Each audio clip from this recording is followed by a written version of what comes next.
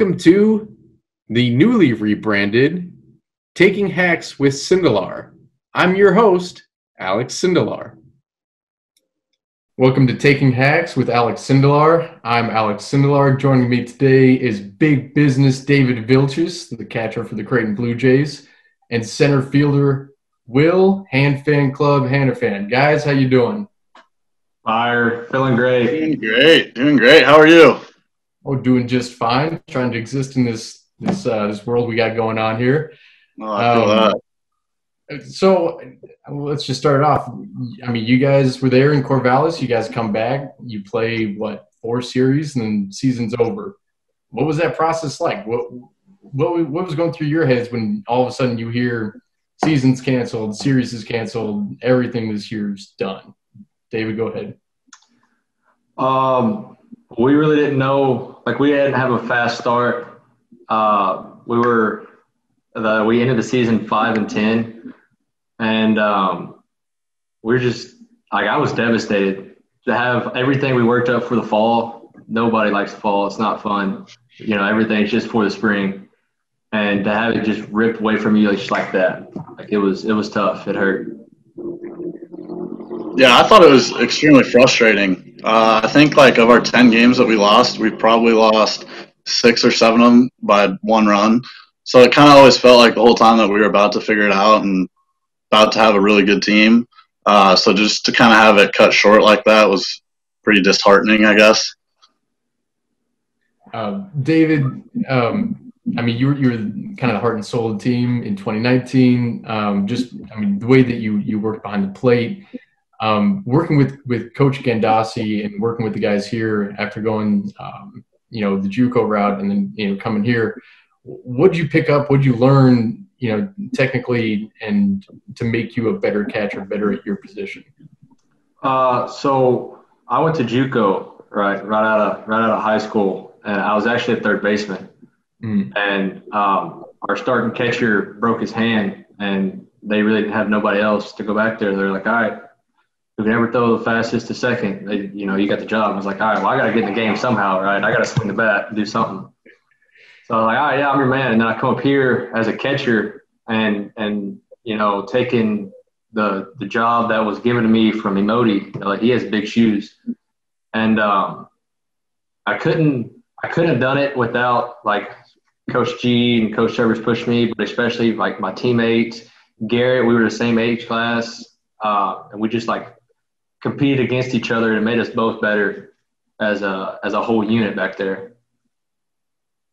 And then Will, I mean, you look at center field and the guys who came before you.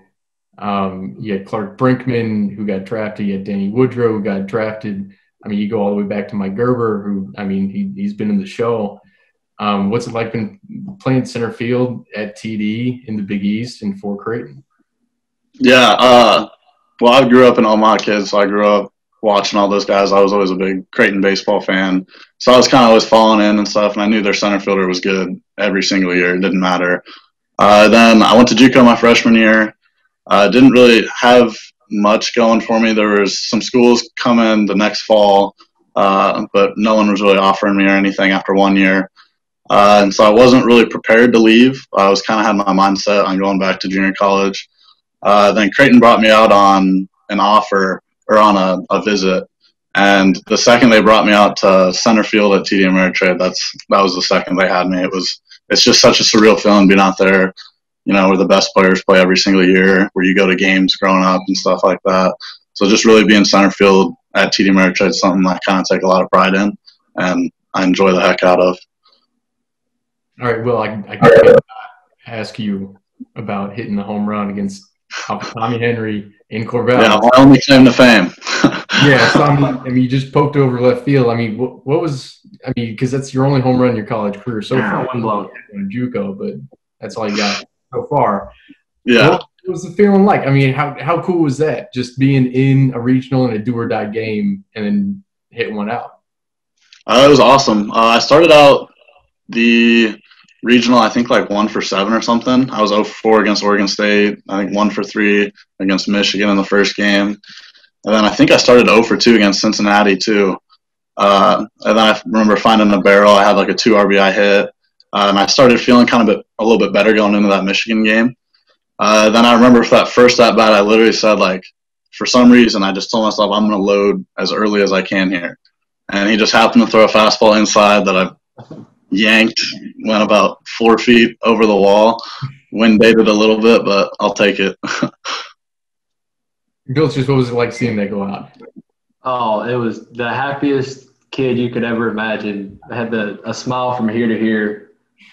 Like he, he big leagued it, you know, going around the bases, but the moment he stepped home, it was just all the emotions came out. He was jumping up and down. Like we were, we were hyped. I, now I asked, I asked Gandasi and I asked uh, Werdekamper about that game against Michigan.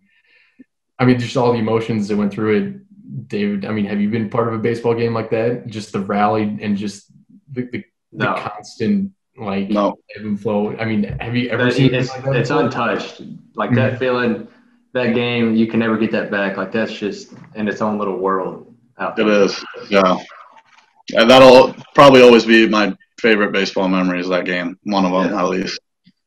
I used to have to guess like early in school. Everybody's asking, "What's your favorite memory of all that?"